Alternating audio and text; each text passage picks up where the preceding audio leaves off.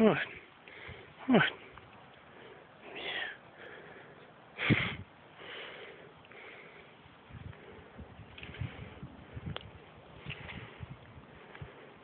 I'll show you some of our